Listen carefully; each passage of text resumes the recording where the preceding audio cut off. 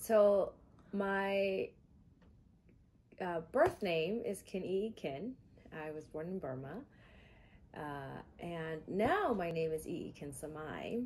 Um, when my husband and I married, um, we actually decided to say hell no to patriarchy and chose a name that meant something for the both of us instead of doing the, the hyphenation thing or um, and so my last name is actually uh, Quechua and it means breath or spirit.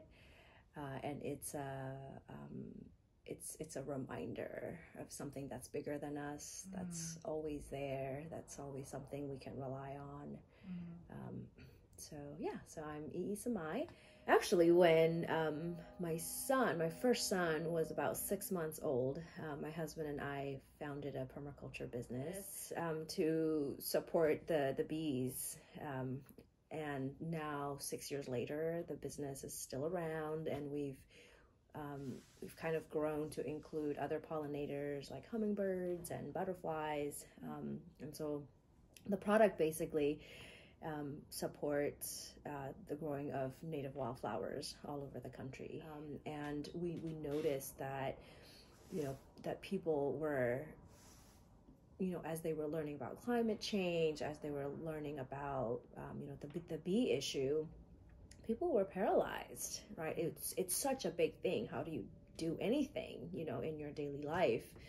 Um, and so that was one of the things that we designed for. Um, and so our whole thing is like this joy it's about inspiring kids it's about you can do something and, and collective action. We have a map on our website that shows um, where people have bought and planted all these wildflowers so they can really see like together i think now our customers have um, grown over a billion wildflowers all over the country right? Um, so that was one um, it's just like really inspiring the next generation to be like, yes, you can do something, and it's not just about individual action. We are always better when we're together. Um, as an immigrant, uh, um, I've had to establish that love for California and the Bay Area myself.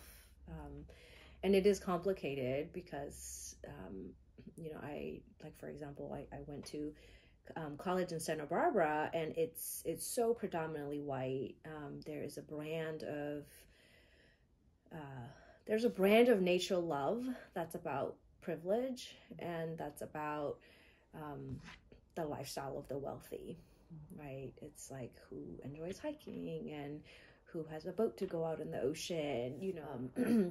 but I can I can now say um, California is one of my favorite places. Um, really, anywhere with the ocean. Um, there's a like I've I've traveled in a bunch of places, and there's something that just feels like home when I am next to the ocean.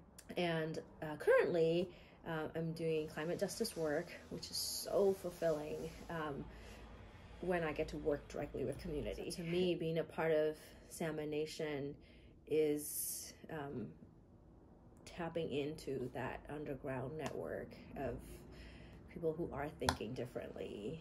And we don't need um, we don't need to come up with like frameworks with intellectual property rights. That you, you know there's a, there's a different way of moving with this work moving with each other that is based in trust and that is based in um, in believing in something that maybe doesn't exist yet you know believing in the immersion and believing in process and like all of those things just feel so right. Um, so i'm excited to to see where it goes